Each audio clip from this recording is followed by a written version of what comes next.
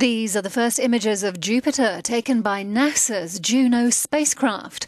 The probe arrived in orbit around the biggest planet in the solar system two months ago.